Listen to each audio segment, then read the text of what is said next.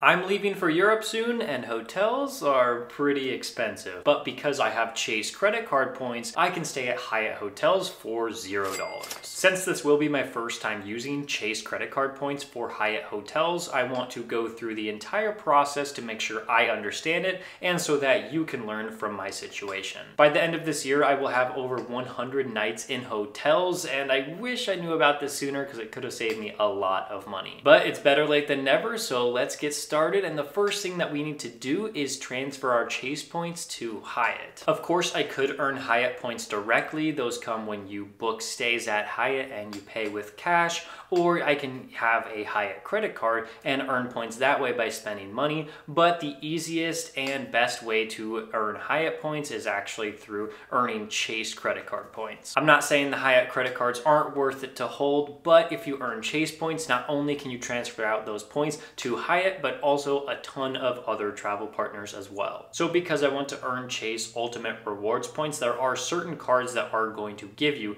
this currency. That would be the Freedom cards, the Sapphire cards, or the Ink cards. So in the Freedom family, we have the Freedom Flex and we have the Freedom Unlimited. The Sapphire cards include the Sapphire Preferred and the Sapphire Reserve. And in the Ink family, these are business cards. There are three cards that are going to earn you these Ultimate Rewards points. It's going to be the Ink Cash, the Ink Unlimited, and the Ink Preferred. Even though all of these cards earn that transferable currency that we're looking for, you have to have an annual fee card to actually transfer out your points. So that would be from the Sapphire Preferred, the Sapphire Reserve, or the Ink Preferred. The Hyatt hotel that I want to stay in for three nights is going to cost 12,000 points. And if you transfer out your points from Chase to Hyatt, they transfer at a one-to-one -one ratio, which basically means I need 12,000 Chase points if I want to book this stay. It's a good thing I already have a ton of Chase points. These can either come from spending on these specific cards that I've already talked about, or from sign up bonuses. That's my number one favorite way to earn Chase points fast is by signing up for a new card and hitting the sign up bonus by meeting the minimum spend requirement. And like I already said, I have a ton of Chase points so we can move directly to this transfer process. I clicked on my Sapphire Preferred and now I'm gonna click on transfer to travel partners and it's gonna pull up a whole list of partners that we can use our Chase points and convert them to the airline miles or hotel points that we want. At the top of the screen here, you'll see any bonuses bonuses that Chase currently has, you can actually get a better value for your points when you are transferring during a bonus period. Hyatt doesn't have one of these, but that's still okay. Here we have the World of Hyatt screen. It does say the transfer timing is going to be next business day. That's where most of the points transfers are going to be processed, but it may take up to seven business days. So make sure if you know you want to stay in a Hyatt, make sure to transfer those over as quick as possible. And that's why I'm doing this at the beginning of the video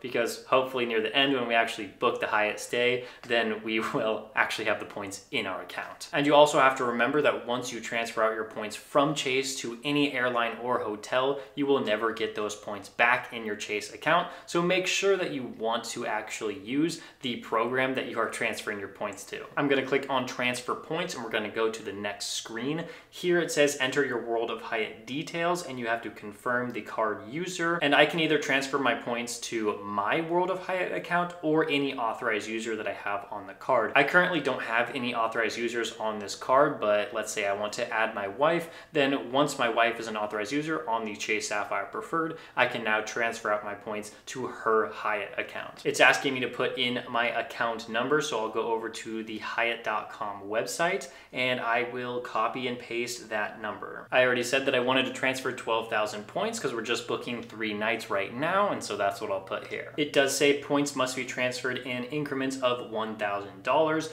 and it verifies here transferred points hold a one-to-one -one value. So 12,000 Chase points equals 12,000 Hyatt points. Clicking next will pull up step three of three. So we're almost done and we can go in and review the transfer details. I am moving 12,000 points from the Sapphire Preferred and there's my new balance and then I will receive 12,000 points into my Hyatt account. I'll click submit and hopefully this transfer is in instant and it shows up in my Hyatt account so that I can book this hotel right now. And just checking on my phone, I got two emails. I got one saying the point transfer is in progress and then less than 30 seconds later, I got another one saying that the transfer is complete. So if I refresh the Hyatt.com website, I'm assuming there's gonna be 12,000 points there. And yep, just like that, there is 12,000 points in the Hyatt account. So let's go book that hotel. The home screen on Hyatt is going to look like this. There's going to be the logo up top and then what you put in. Actually, I am going to change this to two adults per room because my wife is going to be coming along with me to Europe. And then you can put in anything that you want. I am actually going to Krakow, Poland.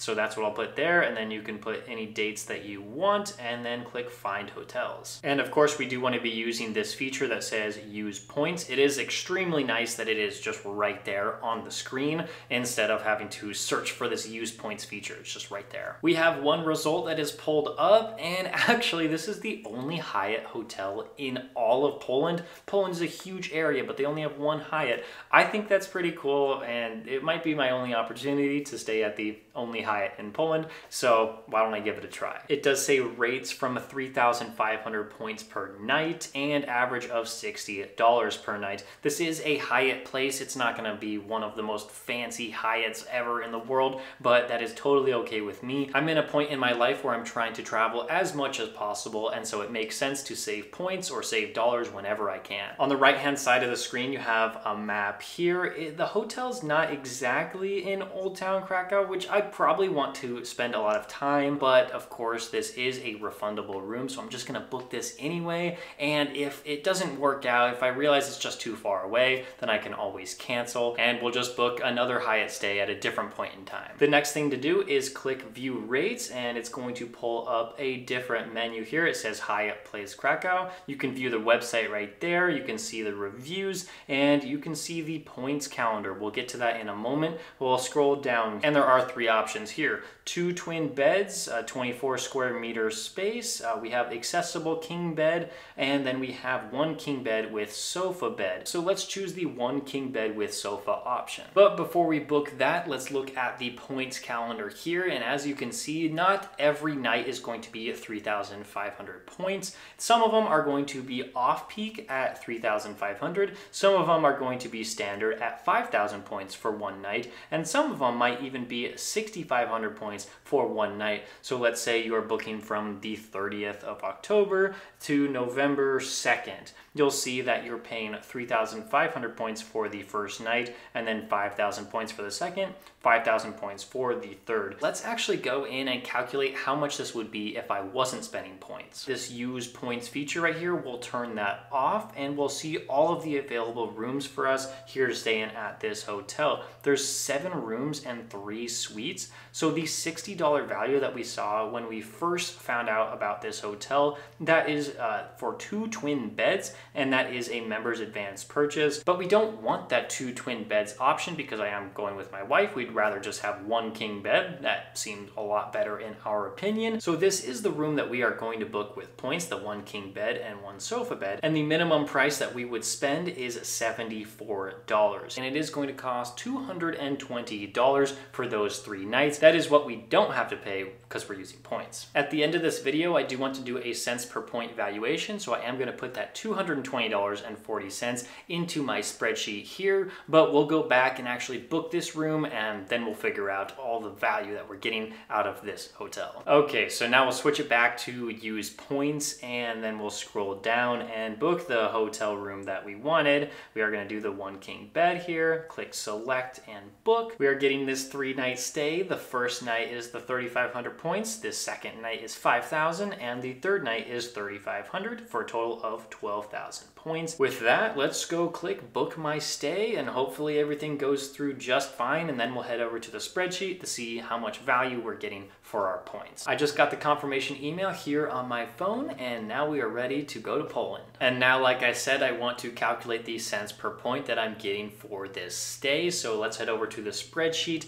The cash fare that we talked about earlier was $220.40, and I just have to fill in the rest of this. The points that I used is 12,000 points, and for the points fees, I'm not gonna have to pay anything. There's no extra charge by Hyatt for using points, so $0.00. So that's what I'll put here, and the cash minus the fees is the same amount. Because it's easier for the calculation, I have these cents spent here, 22,040, and the cents per point here that we're getting for our chase points is 1.84 cents per point. But we're not finished yet because Hyatt is currently running a promotion called Hyatt Bonus Journeys. And if you scroll down here on this website, you'll see that three qualifying nights for all members equals 3,000 bonus points that you're going to get at participating hotels. And also, if you have a World of Hyatt credit card, you can get an additional 1,000 bonus points. I don't have the World of Hyatt credit card, either the personal one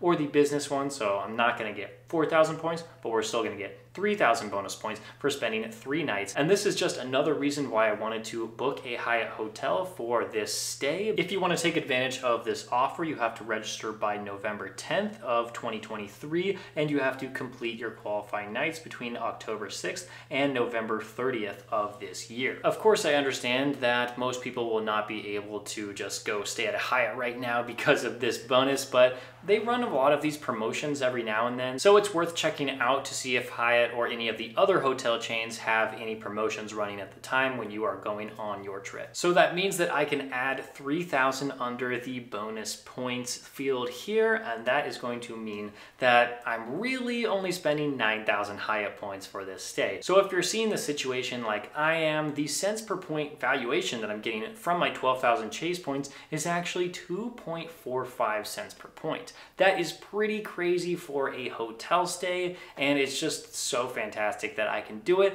with the travel dates that I wanted and in the city that I wanted. Just remember, if you want to do the same thing and book Hyatt stays with your Chase points, you have to have an annual fee card with Chase, either the Sapphire Preferred, the Sapphire Reserve, or the Ink Preferred. I have referral links in the description for all of these cards if you want to check them out. If you choose to use that link, you are directly supporting this channel and helping me put out better content for you to enjoy. And I hope that you learned some valuable information in this video. If you did, please hit subscribe as I'm trying to hit my first 1,000 subscribers on this channel. And if you want to watch another video about Chase Travel Partners, you can click on this one where I transferred points out to United to book international flights for me and my wife. And I appreciate you for watching it, and I'll see you in the next one.